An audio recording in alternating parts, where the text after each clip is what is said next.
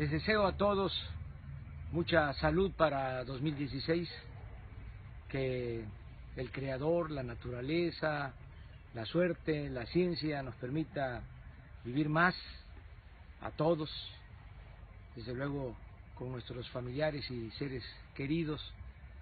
En lo político deseo de todo corazón que se consolide Morena porque es la única opción, es la única alternativa para lograr un cambio verdadero en nuestro país. Este año que hay elecciones en 13 estados del país y también van a haber elecciones en el Distrito Federal para elegir a los diputados constituyentes. Que Morena salga bien, que nos den como siempre su confianza a los ciudadanos. Nosotros nunca jamás los vamos a traicionar. Desde luego Deseo que no haya corrupción, deseo que no haya pobreza, que no haya sufrimientos, que haya trabajo para quienes están desempleados. Deseo que no haya inseguridad, que no haya violencia.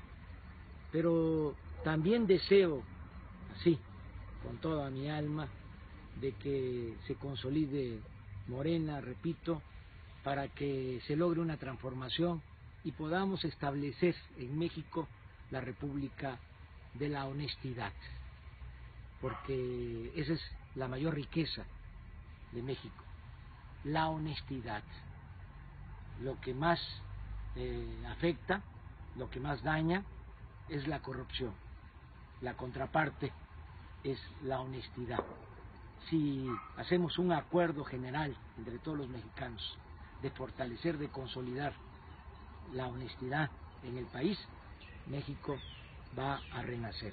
Ese es el propósito fundamental y es por lo que deseo que Morena salga adelante. Un abrazo cariñoso, fraterno, a todas y a todos.